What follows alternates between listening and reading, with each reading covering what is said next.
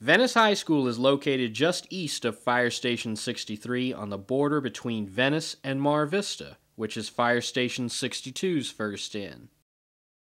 Venice High School was established in 1911 as Venice Union Polytechnic High School. It is said that classes were originally held in an old lagoon bathhouse just to the west of its current location. In March 1933, the original facility was damaged in the Long Beach earthquake and classes were held in tents for the next two years.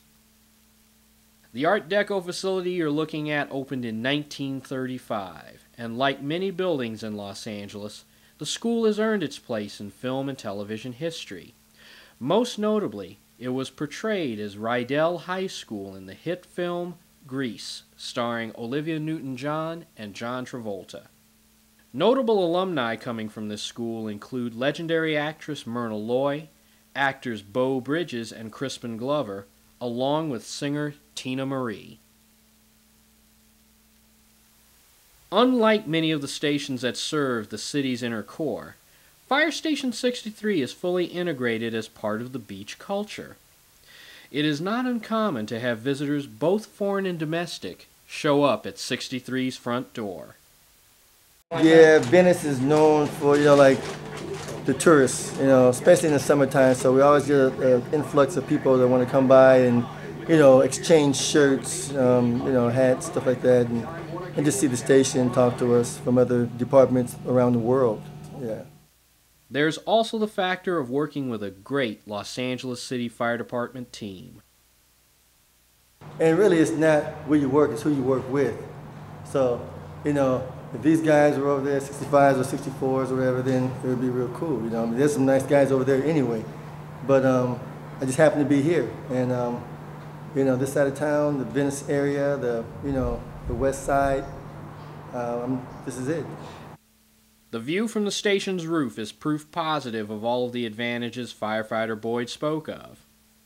In fact, firefighter Boyd told us the crew sometimes retires to the roof for a bit of peace and solitude. Up until recently, they kept a number of lawn chairs out here just for that purpose. From this vantage point, you have a 360 degree view that begins with the Pacific Ocean on the west the northern portion of Los Angeles, including Century City, downtown on the east, and San Pedro on the south. We too became enthralled with the view to the point that we actually locked ourselves out of the building. Hey, can anyone down there hear us? Anybody?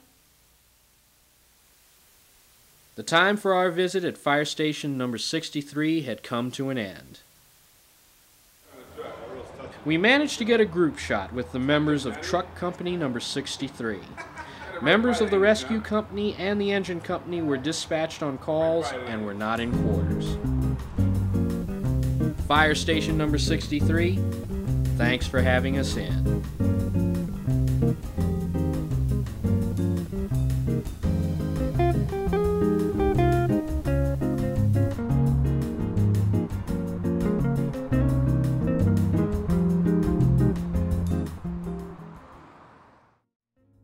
What you've just seen is a small sample of the stations that have been added to the archive. Sure, the buildings might be similar.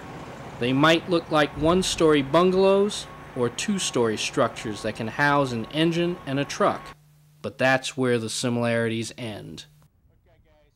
Each station, each crew, and each community has its own unique story and its own unique flavor. Our mission in all of this is to highlight those qualities and record them on film as part of the then and now of your Los Angeles City Fire Department.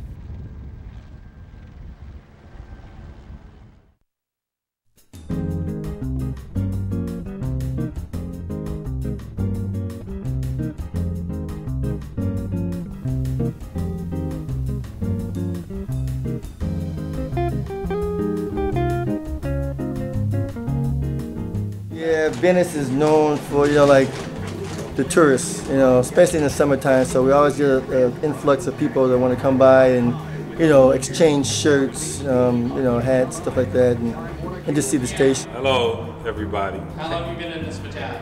This battalion, 12 years. This is homework assignment, this cookbook. They still on the first page. I published this just for him.